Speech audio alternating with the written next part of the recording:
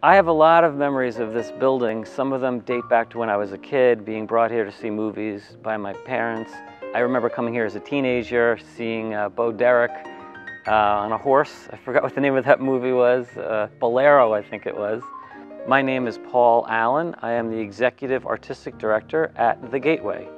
The Gateway Playhouse has been around since 1950.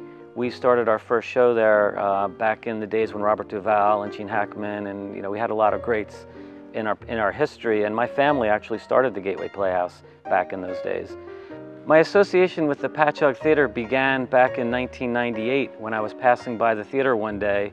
I decided to take a walk around inside and see what all the commotion was and realized there was some sort of a renovation going on.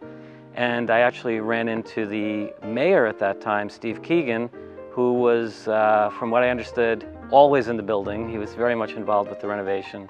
And he and I struck up a conversation and he explained to me what was happening.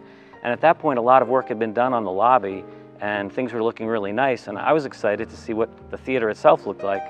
So uh, he hesitated and then walked me inside and pretty much nothing had happened inside the auditorium where we're sitting now. Everything had been ripped out from the former movie theater but it was really just a shell of a building. The walls were falling apart, the stage was halfway collapsing, and, and so uh, a considerable amount of work still needed to be done inside this part of the building. And uh, our talks continued, and he said, hey, how would you like uh, the Gateway to be involved with uh, helping us get this building renovated, and maybe we can get a show on the stage. What do you think? And I said, sure, when do you have in mind? He's like, well, what about this winter? And, you know, practically five or six months away from that point. Um, and I like, I like a challenge, sure. Uh, let's see if we can do it. We developed a partnership between the village of Patchogue and Gateway so that the village would do the renovation and the Gateway would bring in all the theatrical equipment and gear needed to make a show happen on the stage. St. Petersburg State Ice Ballet Company had a beautiful Nutcracker on Ice ballet. We'd worked with that company before and they brought the show in. What we needed to do was supply a, a space for them to be able to do the show and of course they needed an ice rink.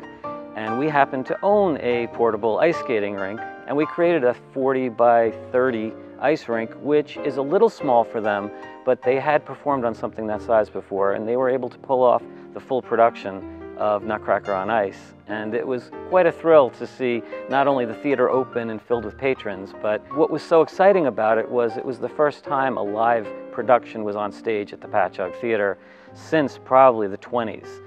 So after our initial connection with the Patchogue Theater back in 1998, the relationship between Gateway and Patchogue Theater continued year after year all the way up until now we come in usually for one or two shows each summer, and we also come back in in the winter season. It's very satisfying now to be associated with the Patchogue Theater and see all the renovations and changes that have been happening here recently. So it's kind of a win-win. We get to expand out the scale of what we're doing, keep our customer base, and at the same time bring in a lot of new Patchogue people to see shows and people that are familiar with this building get to see what Gateway does.